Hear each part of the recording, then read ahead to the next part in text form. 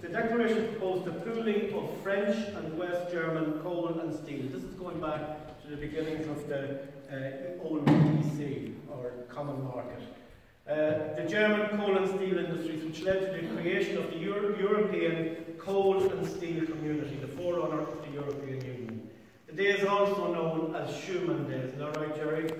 Robert Schuman, along with Jean Monnet, were, they were French foreign ministers, and the, it was proposed that the Schuman Declaration would happen on the 9th of May 1950.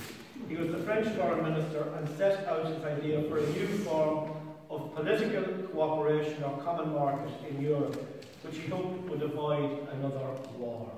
He believed merging economic interests within Europe would help raise living standards and create a more united continent. A year later, a treaty creating the European coal and steel community was signed between the founding members who were France, West Germany, Italy, the Netherlands, Belgium and Luxembourg. And there's just a little bit here uh, on the tune. Uh, this melody was used to symbolise the EU comes from the Ninth Symphony composed in 1823 by Beethoven when he set music to the Ode to Joy, Frederick von Schiller's lyrical verse, which was written in 1785. The anthem symbolises not only European Union but also Europe in a wider sense. The poem Joy expresses Schiller's idealistic vision of the human race becoming brothers, which is a vision Beethoven shared. In the universal language of music, this anthem expresses the European ideals of freedom, peace and solidarity. Uh, it's not intended to replace any national anthem. It's rather to celebrate the values that we all share in Europe. And I think it's probably good that we do this here tonight because not alone on the western shores of the EU, which is Britain uh, leaving with Brexit, but also on the eastern shores we have problems with uh, sabre rattling Turkey. They are rattling their sabres with Greece and trying to claim back some uh, some of the Greek islands. But Michael D. Higgins was in Greece, uh, I think about six weeks ago, and he was talking about Europe and the smaller countries of the EU must stand together. And we, we, must stand together because uh, we are in, I think we would all agree, quite a dangerous situation. So we are here to celebrate this tonight, and uh, let's get up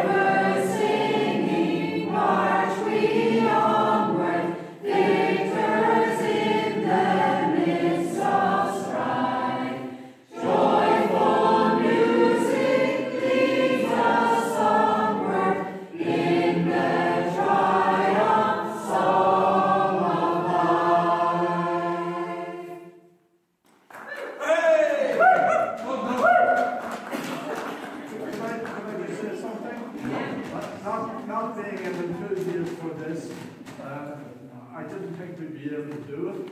Oh, you I have to say, I feel very emotional.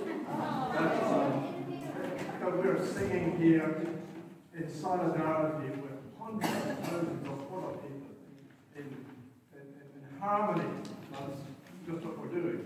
And in harmony for the good things and the proper things and the